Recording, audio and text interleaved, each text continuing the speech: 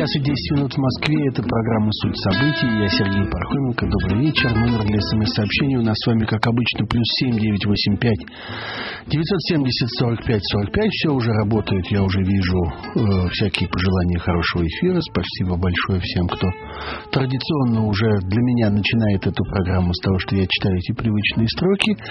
А, сайт www.hmsk.ru, а на нем, в свою очередь, тоже разные привычные уже вещи, вроде кардиограммы прямого эфира. Раз в минуту можно за или против проголосовать того, что вы слышите, и возможность отправлять сообщения сюда, ко мне э, на экран в студию и э, трансляция из студии прямого эфира. Вроде все должно работать, все хорошо.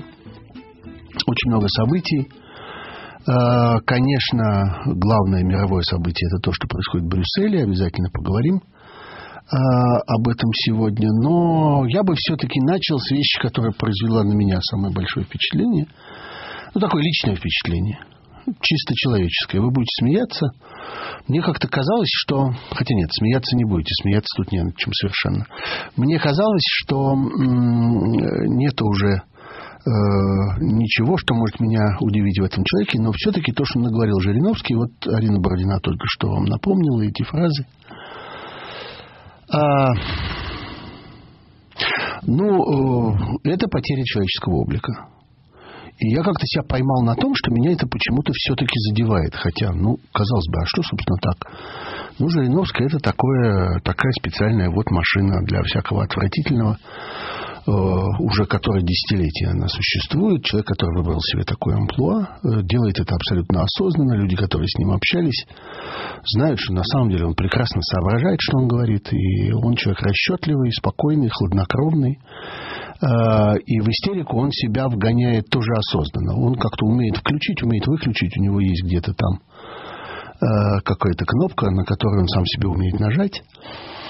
Э, и э, достаточно уже рассказов от э, разных коллег, которые в разных обстоятельствах с ним общались и говорят о том, что внутри вот под, под, под этой оболочкой истерика есть расчетливый, хладнокровный, циничный человек.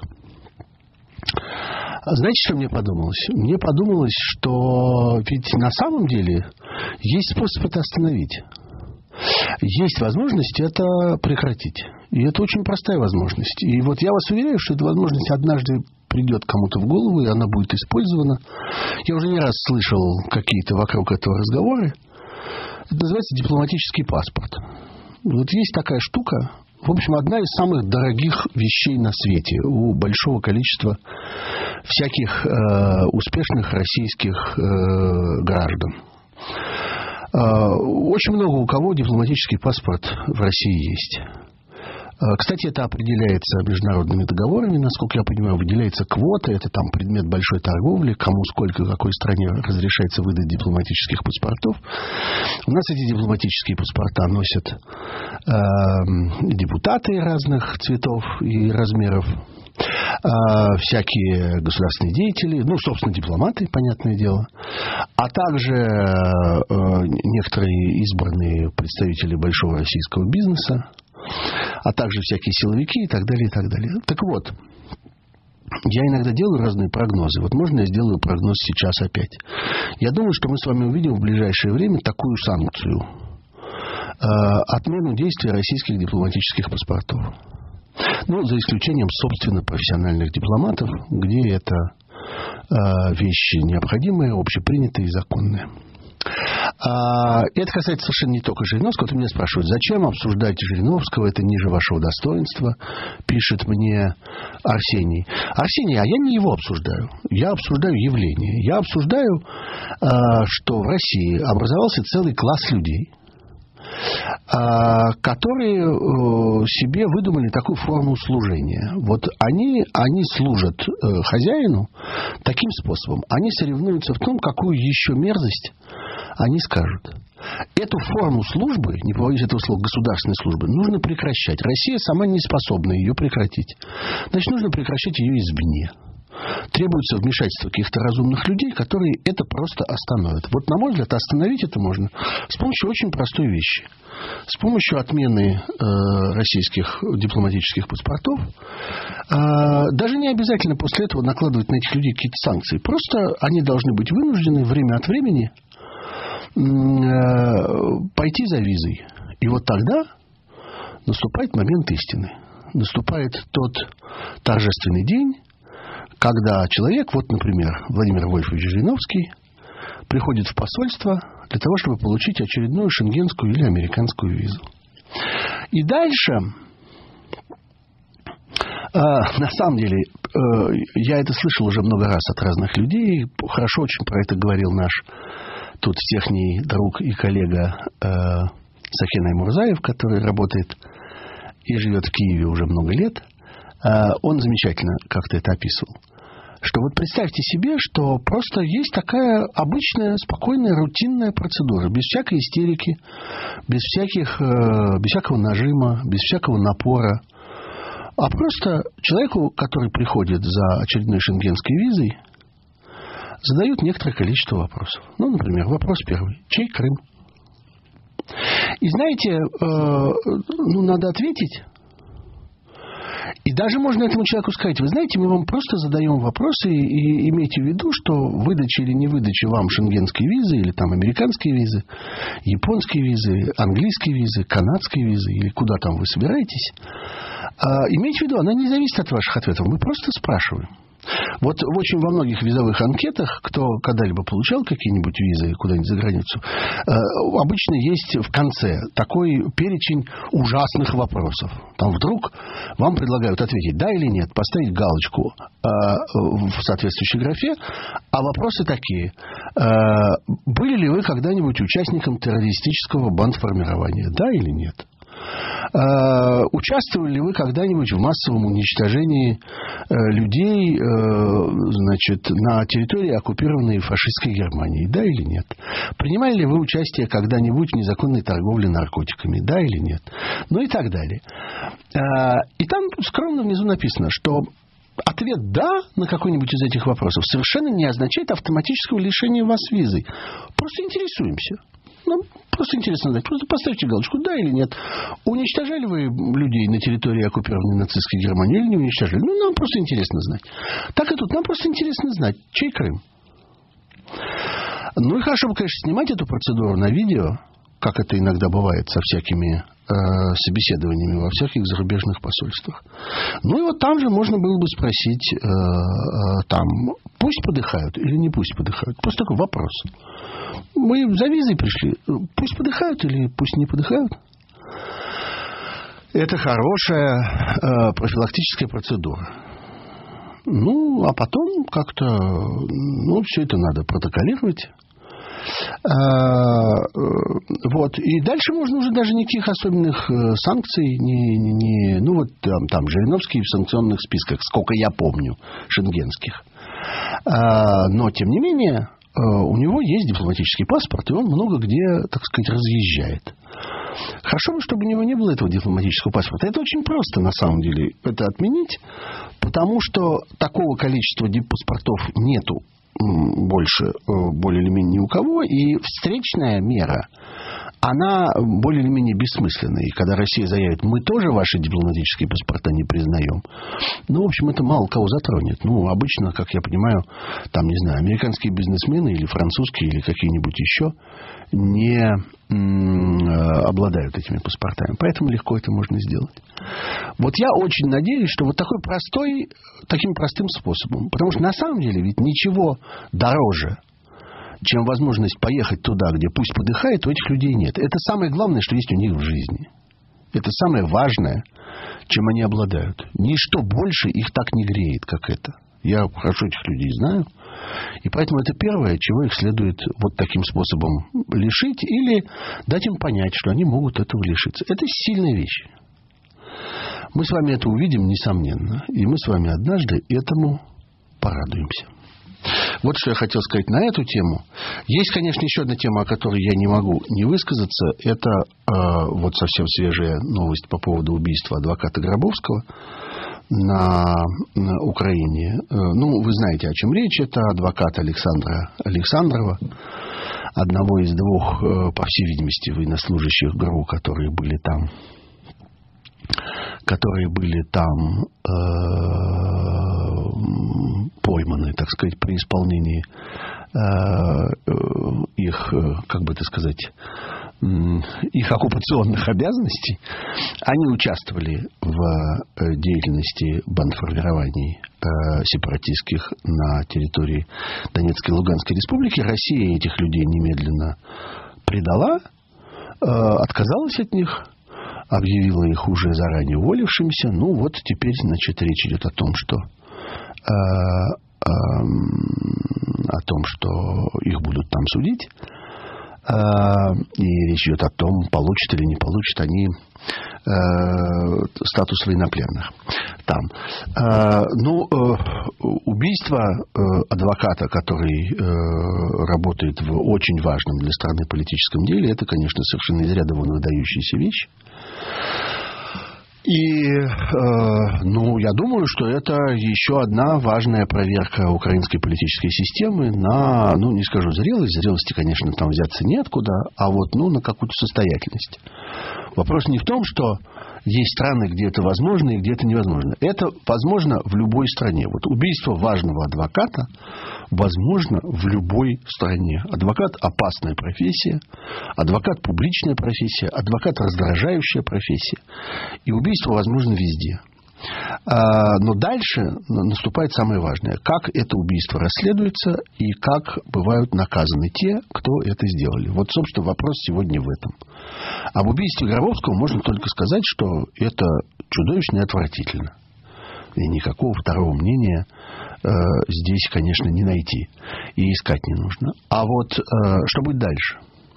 Насколько быстро будет проведено следствие, насколько быстро оно будет завершено, насколько быстро будут наказаны и как будут наказаны люди, которые это сделали, и будет ли на самом деле размотана вся эта история, которая, несомненно, имеет под собой какую-то, мы не понимаем пока, какую политическую подоплеку.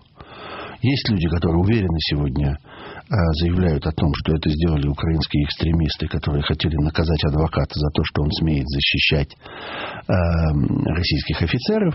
Есть люди, которые также уверенно заявляют о том, что это провокация, которая была направлена из России для того, чтобы дискредитировать еще раз э, украинскую политическую систему. И те, и другие говорят очень уверенно, ни у тех, ни у других твердых оснований сегодня говорить этого нет. Поэтому посмотрим, какие основания предъявит здесь следствие, что оно в реальности выяснит.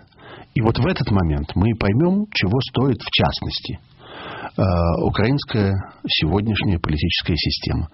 У нас к ней, как у свидетелей и наблюдателей, глядящих на это со стороны, много претензий. Э, там за последнее время принято много э, решений, свидетельствующих о несовершенстве этой системы, о незрелости этой системы, о том, что люди, э, которые занимают там важные посты, часто не очень умные, часто корыстные и так далее. Ну, а откуда же им другим взяться?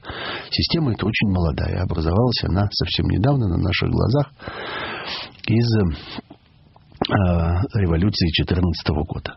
А, вот. Э, ну вот посмотрим, что они научились в реальности делать, начиная с 14 года. Это важная вещь. А э, пытаться промолчать это, замолчать это или не заметить это, конечно, нельзя. За этим нужно наблюдать так же внимательно, как мы наблюдали за деятельностью зеркальных, как выразился тут э, недавно Э, один из адвокатов Савченко, э, вот, значит, э, зеркальных адвокатов, тех российских адвокатов, которые здесь, в России, защищали украинскую военнопленную, так я назвал бы Надежду Савченко, а вот их аналог там, это украинский адвокат, который там на Украине защищает российских военнопленных.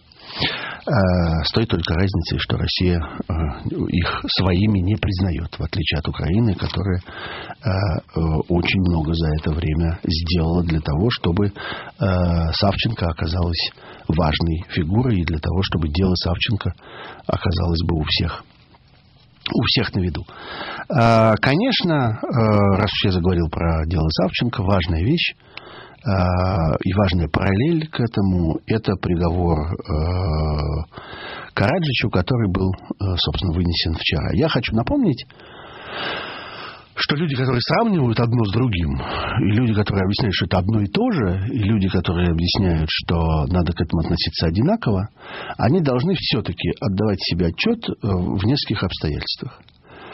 Одно обстоятельство – это то, что такое был э, процесс э, Караджича. Это, ну вот я посмотрел разные материалы, разные отчеты по этому поводу. Ну вот, смотрите, это 600 с лишним Э, свидетелей, которые были заслушаны непосредственно в ходе этого процесса, который происходил в Гааге. Это 48 примерно, чуть больше, 48 тысяч страниц допросов.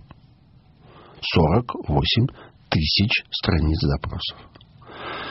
Это 8 лет, э, который продолжался этот процесс э, над Радованом Караджичем.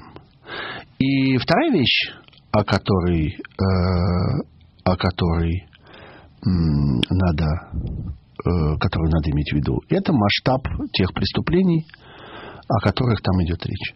Значит, ну, в целом, э, конфликт очень важной фигурой которого, война очень важной фигурой которой был Караджич, ну, хорошо бы все-таки это помнить, правда?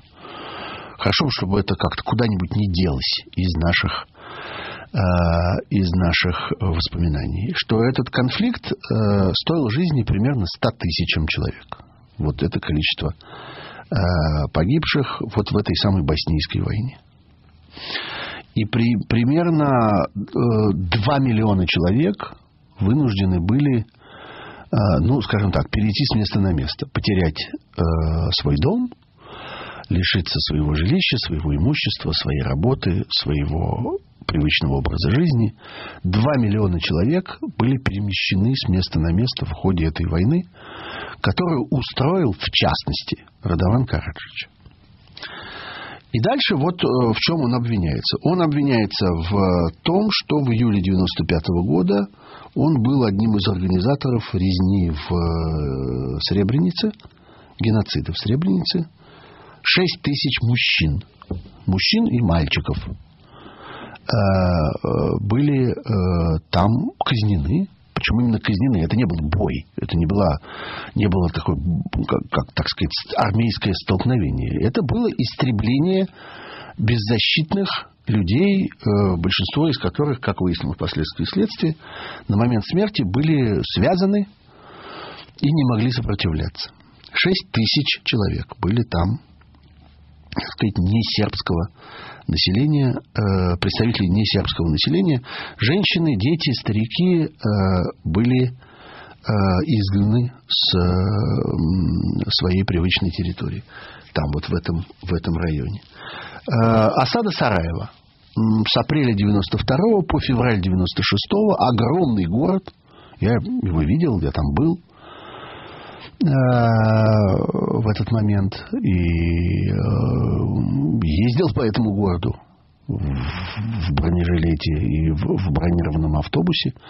Нас там перевозили. Это довольно страшно, такой совсем вымерший, совсем остановившийся город, причем э, огромный, еще недавно очень живой. Там за некоторое время до этого Олимпиада, между прочим, произошла в этом городе. И, в общем, там была вполне жизнь. Э, э, вот, э, значит, вот осада, которая была организована, и осада, в ходе этой осады происходил систематический расстрел снайперами и систематические обстрелы из артиллерийских орудий местного населения, мирного населения этого города. Дальше всякие преступления против человечества во время этнических чисток на территории Хорватии, в частности, и Боснии. Дальше концентрационные лагеря а, с бесчеловечными условиями, в которых погибли тысячи людей. А, дальше взятие в заложники в мае-июне 1995 года большого количества сотрудников ООН, которые э, пытались, э, которые пытались э, там наблюдать за ситуацией. Вот что такое Караджич, и вот за что он получил 40 лет. А, и вот каким образом это было изучено и доказано. А случай Савченко, вы знаете, что такое случай Савченко. Это судья, который один на свой страх и риск и на свое собственное э, усмотрение. На самом деле мы прекрасно понимаем, что по команде и под давлением – подчиняясь своей ложно понятой судейской дисциплине, просто объявляет все, что прозвучало на суде, несостоятельным, ничего не доказывающим, отвергает любые доказательства, включая строгие материальные, и э, приговаривает человека к 22 годам заключения для того, чтобы потом можно было его обменять. Вот вам два важнейших приговора в Европе. Э, последних дней. Сравнивайте их сами. Это была программа «Суть событий», тем более, точнее, первая половина этой программы. Не пугайтесь. Все будет хорошо. Еще будет вторая через 3-4 минуты после новостей. Я Сергей Пархоменко. Пожалуйста, никуда не удаляйтесь от ваших приемников. 21 час и 35 минут в Москве. Это вторая половина программы «Суть событий». Я Сергей Пархоменко. Номер для смс-сообщений плюс 7 985 970 45 45 плюс 7 985 970 45 45 сайт www.hmskr, на котором все работает, и кардиограмма прямого эфира, и трансляции студии прямого эфира, и возможность отправлять сообщения сюда ко мне на экран. Про терроризм и про Брюссель. Конечно, это все-таки важнейшая мировая тема на сегодня, и мы с вами без нее не обойдемся. А, меня, правда, часто упрекают, когда я начинаю подробно рассказывать про какие-то ситуации, вот связанные, например, как это было в прошлой программе с э, событиями, вот с этой борьбой с терроризмом во Франции, в Бельгии, в других европейских странах. Прошлая программа наша с вами была еще до этих бельгийских, брюссельских терактов. На тот момент, если помните, мы с вами обсуждали арест э, человека, который давно скрывался и который, собственно, был, как выясняется, и теперь это уже подтверждено, одним из активнейших участников и одним из организаторов, из разработчиков терактов в Париже в ноябре и как-то мне тут многие писали с помощью смс, что зачем про это, это нас не касается, неужели нет какой-нибудь темы поговорить здесь, эм, э, про наши какие-нибудь дела. Э, дорогие, назовем это так, друзья, это вещи очень тесно связаны. И в сущности это одна вещь. Это один процесс. Это одно развитие событий. Это одна ситуация, в которой мы живем все. Здесь и там. Ну вот смотрите, произошли эти теракты. И э, давайте сначала посмотрим, что такое этот аэропорт. Вот этот аэропорт Завинтем, о существовании которого вдруг э, узнало огромное количество людей, которые никогда раньше в нем не бывало, я в нем был много раз. Это один из крупнейших европейских аэропортов. В 2015 году он перевез 23,5 миллиона человек. Это сведения с официального его сайта. 77 а, э, авиакомпаний работают с этим аэропортом. Это один из крупнейших таких европейских, э, как это называется, хабов, да, то есть таких пересадочных центров, в котором сходится большое количество линий. 77 авиакомпаний, 226 разных направлений, откуда можно куда можно улететь или откуда можно прилететь в этот самый брюссельский аэропорт. Очень большой аэропорт, очень оживленный, а, очень важный для Европы. Меньше Шереметьево и меньше Домодедово, между прочим. Вот э, шутки шутками, но у нас здесь, смотрите, Шереметьево за 15 год перевез э, почти 32 миллиона человек, а Брюссель 23,5.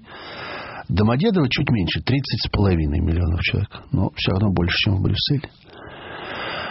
И, э, конечно, немедленно возникают всякие параллели, немедленно возникают всякие аналогии. А как там, как здесь? Ну, первое, что э, хочется спросить, ответит ли за теракты в брюссельском аэропорту, ответит ли человек э, по имени Арно Фейст, и другой человек по имени Люк Вандербоше. Вы слыхали такие фамилии? Нет, я тоже до сегодняшнего дня не слыхал, и думаю, мы их с вами не услышим, потому что эти люди останутся безнаказанными. Один из них Арно Фейст. Это генеральный директор Брюссельского аэропорта. А Люк Вандербош – это председатель совета директоров Брюссельского аэропорта. Брюссельский аэропорт – это огромная компания. Она называется, так и называется, Brussels Airport Company – огромное акционерное общество, которое управляет вот этим вот э, транспортным узлом. И вот эти два человека являются там двумя главными начальниками. Вы слышали, чтобы кто-нибудь предъявлял им какие-нибудь претензии, и чтобы кто-нибудь как-нибудь попытался их привлечь к ответу в этой ситуации? А Дмитрий Каменщик тем временем по-прежнему находится под э, домашним арестом и мы с вами прекрасно понимаем, в чем разница в судьбе Дмитрия Каменчика и вот этого самого удивительного Арно Фейста. Разница в том, что у Арно Фейста никто не отнимает его аэропорт, и никто не пытается завладеть его имуществом. А случай Каменщика – это случай, когда, э, мы с вами как-то раз говорили про это подробно, это просто попытка воспользоваться этим Э, обвинением в том, что именно владельцы и руководители э, аэропорта Домодедово виноваты в том теракте, который там произошел, э, для того, чтобы это имущество у них отобрать.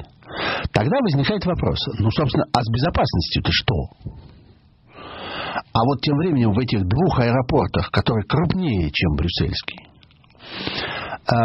там как будет обходиться, как будет обстоять дело с безопасностью? Много очень всяких пустых и бессмысленных разговоров в последние дни про то, что вот, у них там теракты, потому что они не так себя ведут, а, не на тех ставят, а, не с теми дружат, не так относятся ни к тем, я не знаю, там, беженцам, приезжим, представителям разных национальностей, представителям разных религии и прочего. Вот то ли дело...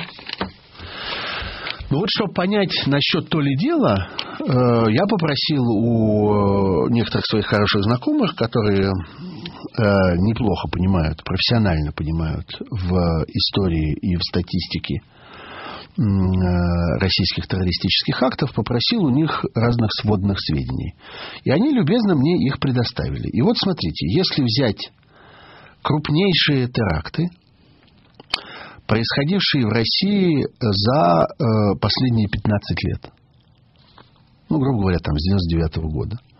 Причем взять только те из них, в которых э, погибло ну, существенное, значительное количество людей. Существенно, разумеется, и одна жертва, но значительное количество людей, скажем, там больше 10 человек.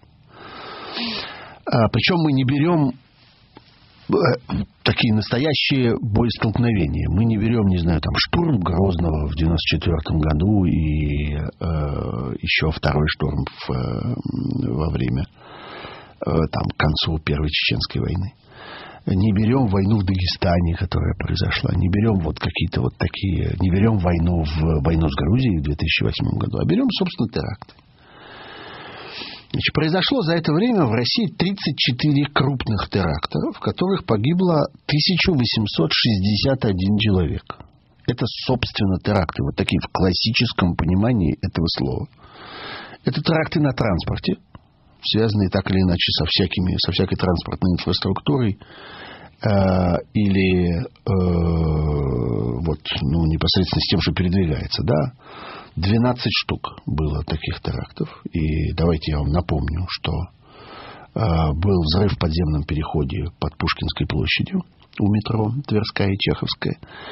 Электропоезд Кисловодск в Минеральных водах, вагон московского метро э, между станциями Автозаводская и Павелецкая, э, два пассажирских самолета Москва-Волгоград и Москва-Сочи в 2004 году в августе.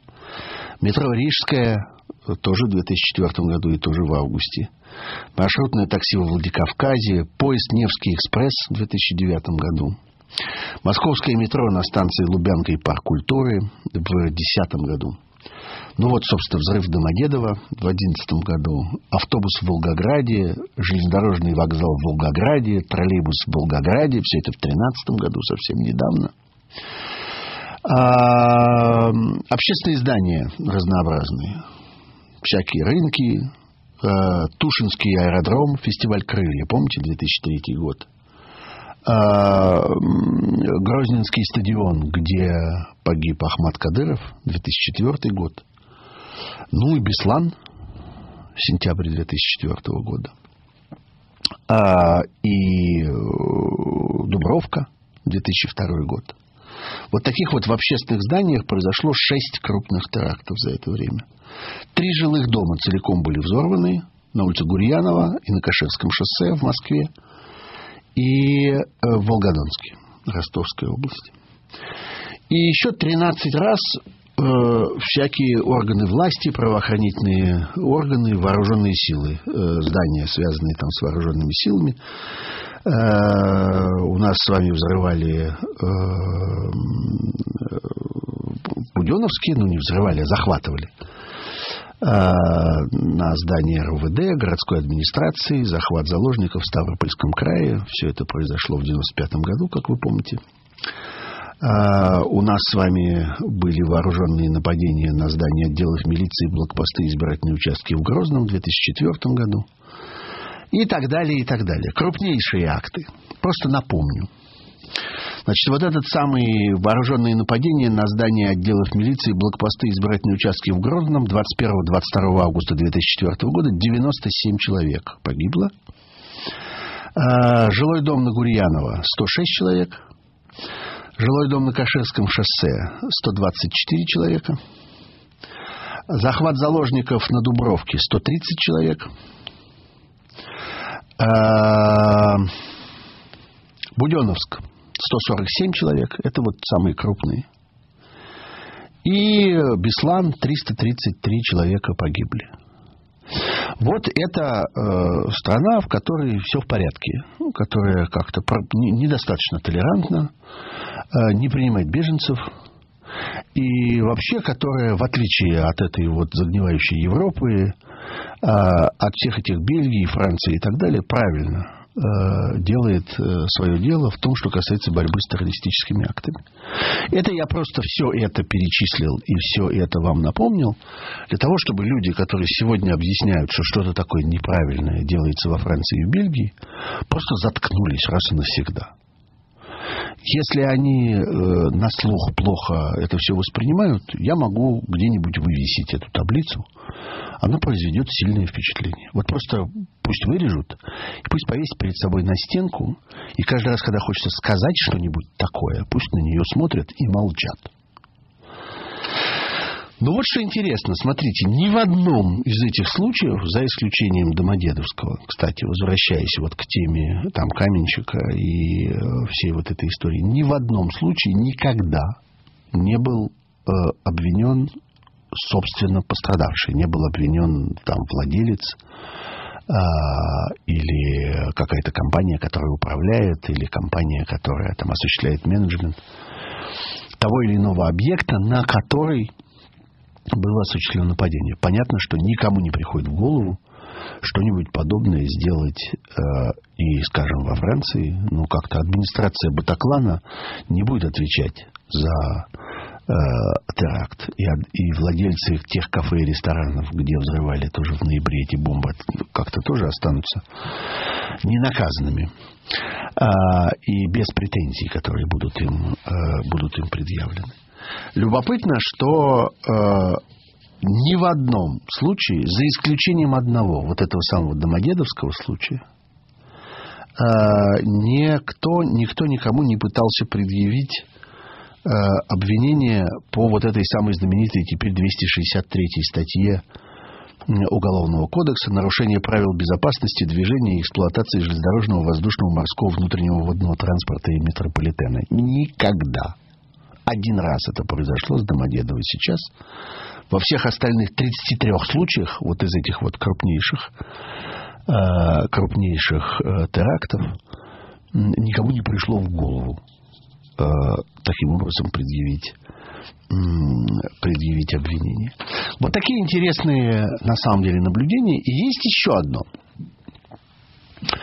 А, а на самом деле, до какой степени мы защищены в тот момент, когда мы входим в какой-нибудь аэропорт или на какой-нибудь вокзал и так далее. Вообще вот есть какие-то правила. есть какое-то вот то, то, чего не совершили в Домодедово. Оно, собственно, какое должно быть. Тоже очень забавная история, если к этому ко всему приглядеться. Все это регулируется. Есть такой закон, э, принятый в э, феврале 2014 года.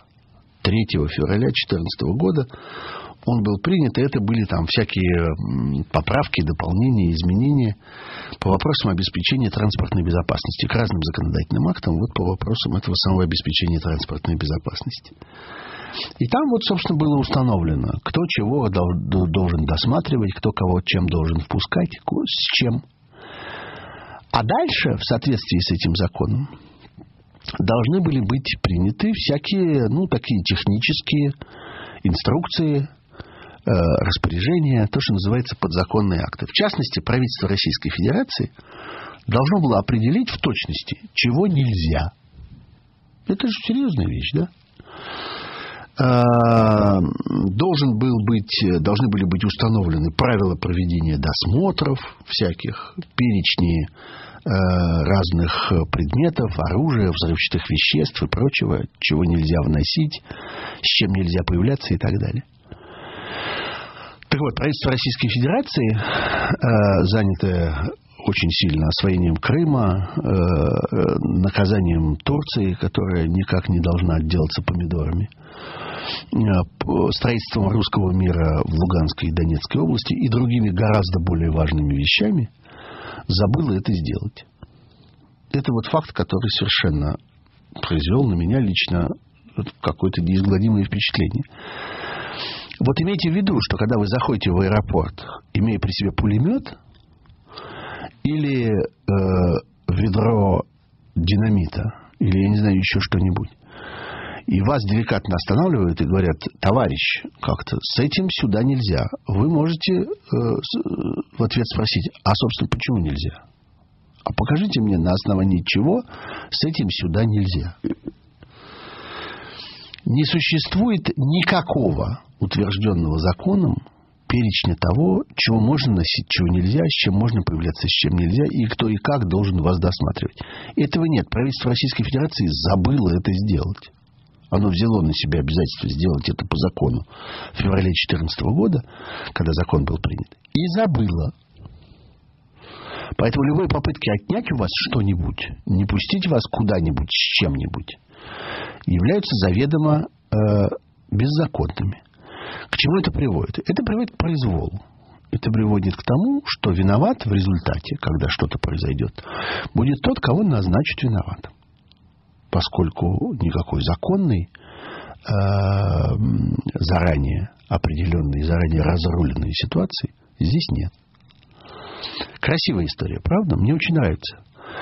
А, как за разными словами и разговорами о том, как это должно быть устроено и как мы сейчас накажем тех злодеев, которые ведут себя неправильно, есть просто глубоко безразличное, глубоко наплевательское отношение к реальной безопасности людей. Правительство Российской Федерации даже не позаботилось это сделать. Оно забыло выпустить этот документ всем своим белым домом. Шикарная вещь.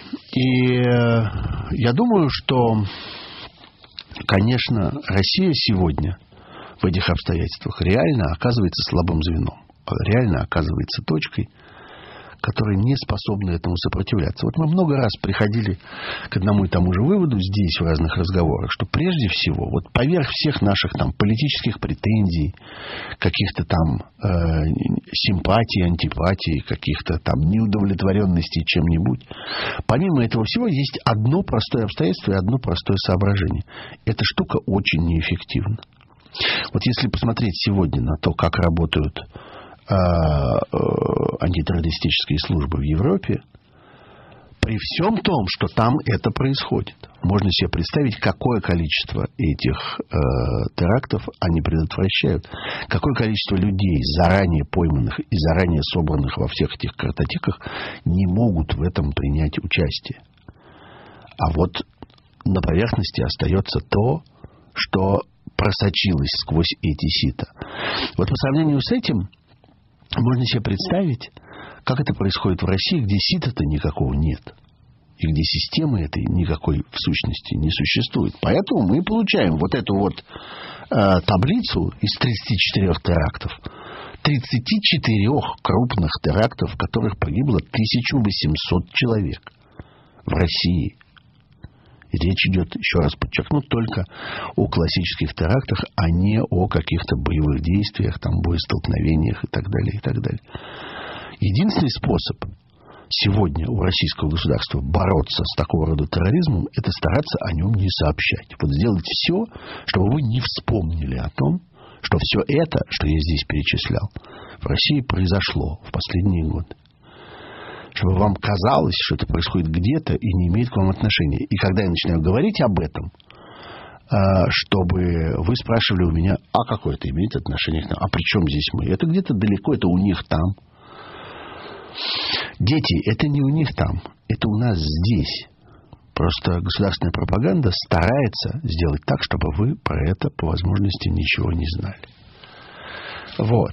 Напоминает мне про то, чего нет еще в, в этих, э, чего я не перечислил. Ну, друзья, я не перечислил вам все 34. Вот напоминает про троллейбус Тольятти, например, и так далее. Ну, много чего было за это время. Вот. Так что э, это связанные, несомненно, вещи. И э, я думаю, что смотреть за тем, как антитеррористические службы борются с этим в Европе, следует с уважением.